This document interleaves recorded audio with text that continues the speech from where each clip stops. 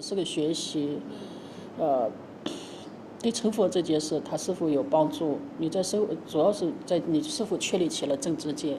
有时候在红尘中，或者是你去，你搞了这个专业，也不代表你成佛更快，知道吧？对你来说，当然，但是你搞这个专业，肯定接触的佛经比较多。但红尘不代表你，你接触了佛经，红尘的很多缘就能了。学这个呢，也不是说想了，或者是想换一个状态，一个是觉得可以给自己多一点是空闲的时间。但是你都要辞职吧，在这边。对对，他就必须。几年吗？学几年？三年。半工半读，就是自己再打个工。就是他提供，就他需要你帮忙翻译。嗯，而且未来翻译这一块的人才也不少。也很多，因为现在都网络互联网国际化了，很多会英语的、会翻文的也不是很很少。而且佛经你是中国人，就是藏文的、梵文的、汉文的、英文的也蛮多了，嗯，英文。但是你喜欢，就是这样，唯一的就是你做了一件你喜欢的事，就是这样，没有什么。你觉得各方面条件适合的话，那为什么不做自己喜欢的？就是人只不过活着就是想做自己喜欢的嘛，对吧？而只不过是考虑更多的呃得失啊，就是说我到底做了这件事会失去什么？如果你没有什么失去的话，你你有什么？你就去做玩呗。其实有些事情，即使我说，我就说你不好拦，你也拦不住，因为你不太喜欢你们公司、你们那个工作单位，迟早你会溜达，做做做烦死了，只要有个机会就跑。你不太适应人世间的人情世故这种，做学术研究吧，就单纯一点，你觉得人情世故没有那么多，嗯，但是呢，你做这件事呢，不断的学习，在这里边你会更。在生活里边，你慢慢的会更出世一点，嗯，就是更不愿意跟很多人打交道，就像大乘菩萨，还要广结善缘啊，要接触很多三界六道众生。唯一的就是做了一件你喜欢的事，其他啥也不代表。哪边两边是一样的，那个环境更好，这个环境不好。其实每一个环境都很清净，你家里那些环境，哎，不管三界六道。就算在哪一道的波动，这些其实是我们的心在动，我们的心在分辨。人的心如果是如如不动的话，其实哪儿都是清净道场，啊。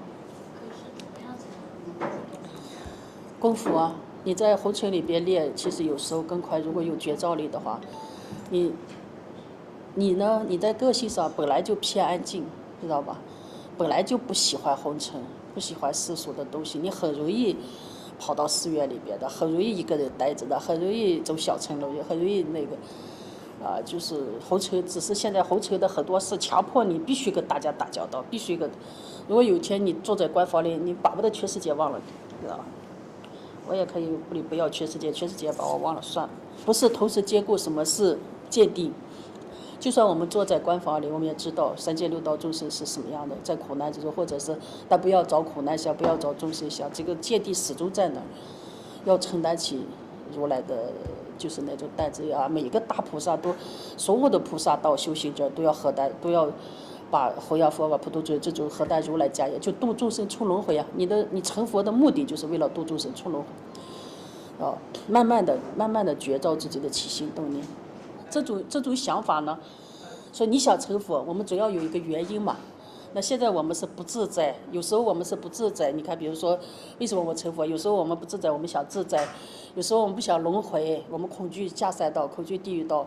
还有阿难说，就像佛的弟子阿难说，我喜欢你头上放光，喜欢神通法法力，这些都可以走进来。但是真正大乘菩萨走走走到最后，因为这些不轮回，头上放光。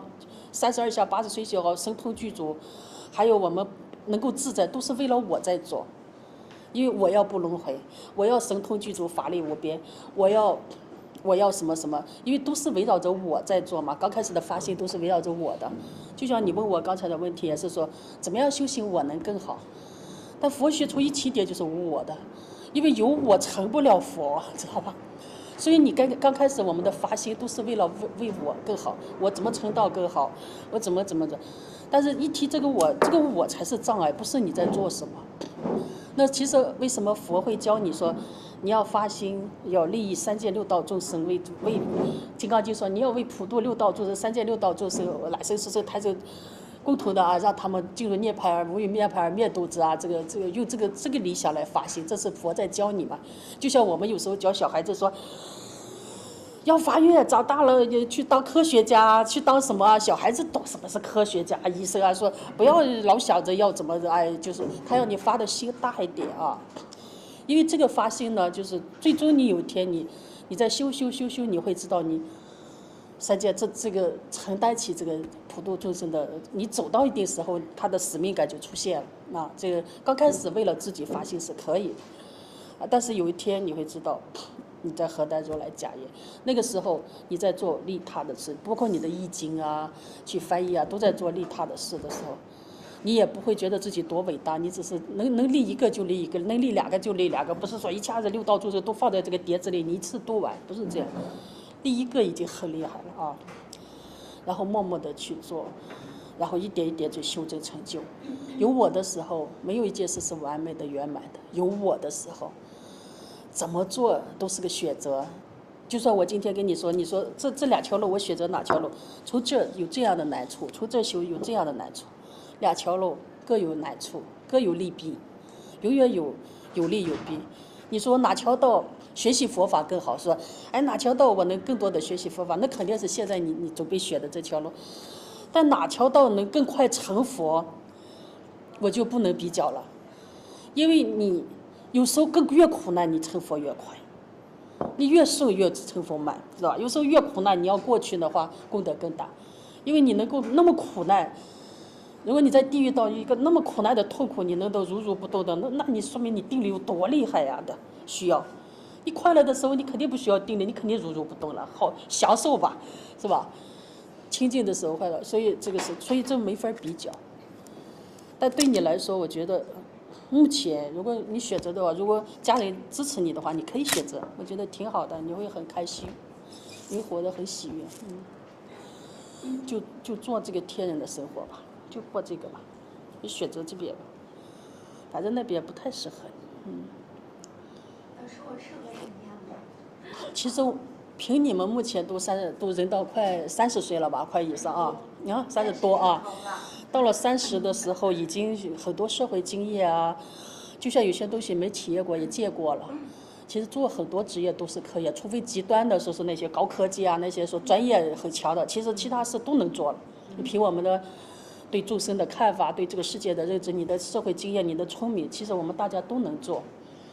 但是我们唯一的就是很难选择到自己喜欢的东西。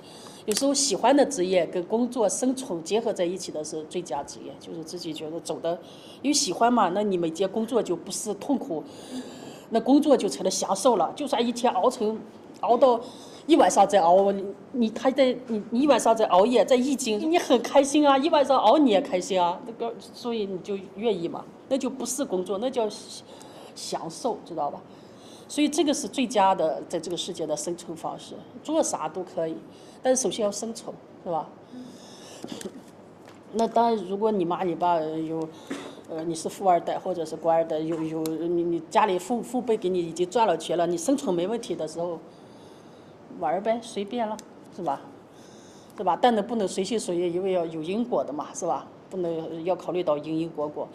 但是再再不触犯法律，再那经常自己做点不断的学习东西啊，让自己活得更好啊，或者是不做都行。